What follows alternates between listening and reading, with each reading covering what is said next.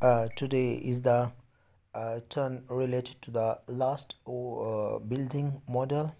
So here I am after drawing on the surface of this material of the windows.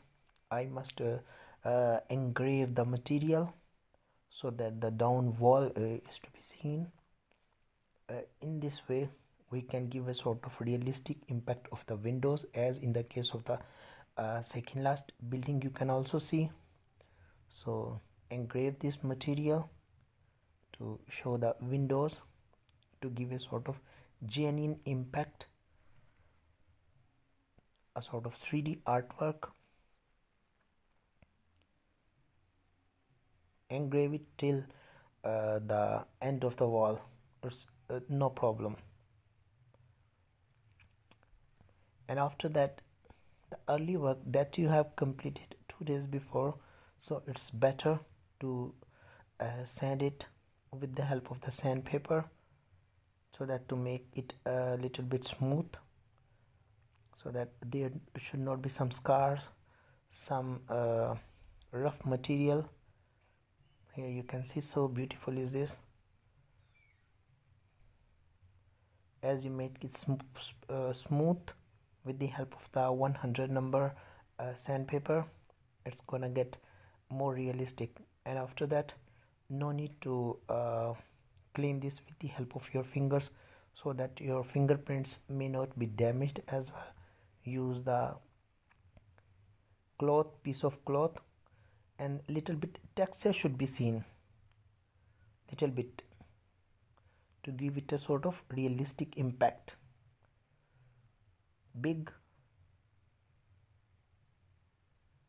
And uh, clear uh, scratches should be cleared. A little bit there is some uh, rest of the parts so i'm gonna make it fill it tomorrow. But now the thing is i am using the sandpaper to make it more fine in detailing. And uh, on the other hand here on the wall on the bricks after doing on the roof i am uh, showing you some stuff related to the texture of the bricks.